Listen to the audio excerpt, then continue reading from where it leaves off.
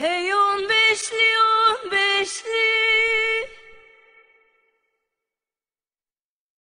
Tokat yolları taşlı. Hey on beşli on beşli. Tokat yolları taşlı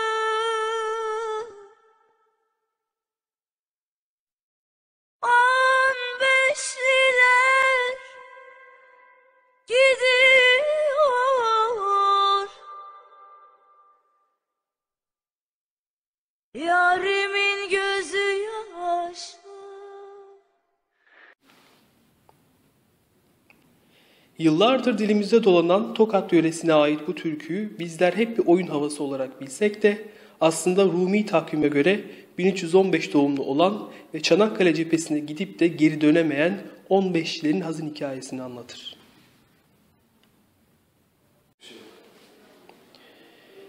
Cihan Harbi sırasında ortaya çıkan asker ihtiyacını karşılamak için Sultan 5. Mehmet Reşat'ın iradesiyle 15 yaş üstü eli silah tutan gençler silah altına alınmaya başlanmıştı.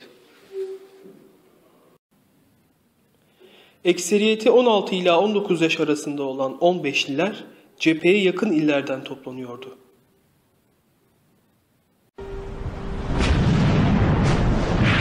Çanakkale Boğazı'nı geçemeyeceklerini anlayan İtilaf devletlerinin Gelibolu Yarımadası'na asker çıkarmaya başlamasıyla birlikte cepheye takviye kuvvetlerin civar illerden temini ve ivedilikle cepheye intikal ettirilmeleri gerekiyordu.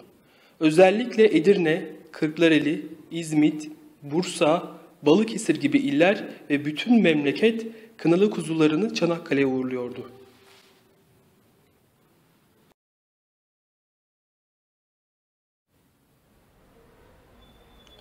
1884 yılında kurulan Balıkesir Mektebi Sultanisi 1915-1916 eğitim öğretim yılı içerisinde Çanakkale cephesine çok sayıda öğrencisini göndermişti. Öğrenimine devam edenler ve mezunlarından yaklaşık 100 kadar öğrencisini gönüllü olarak Çanakkale cephesine göndermiş, bunların çok azı gazi olarak dönebilmişti. Balıkesir Sultanisi savaş yıllarında pek çok okul gibi sınırlı sayıda mezun verebilmişti.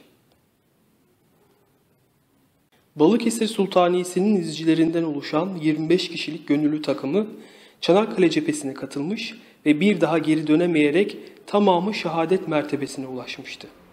Bu cefakar 25 izcinin cepheye katılmadan önce Sultani'nin merdivenlerinde şanlı Türk bayrağının gölgesinde çektikleri hatıra fotoğrafı tarihimizi şerefle süsleyen aziz hatıralarından biri olarak kayıt altına alınmıştır.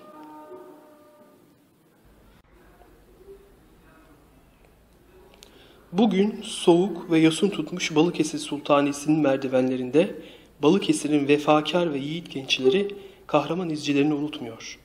Kendilerine bırakılan mukaddes mirası en büyük onur, gurur ve minnetle taşıyorlar. Bu vatan toprağın kara bağrında sıradanlar gibi duranlarındır. Bir tarih boyunca onun uğrunda kendine tarihe verenlerindir. Tutuşup kül olan ocaklarından, şahlanıp köpüren ırmaklarından, hudutlarda gaza bayraklarından, alnına ışık vuranlarındır. Ardına bakmadan yollara düşen, şimşek gibi çakan, sel gibi coşan, huduttan hududa yol bulup koşan, cepheden cepheyi soranlarındır. İleri atılın sellercesine, göğsünden vurulup da ercesine, bir gül bahçesine girercesine,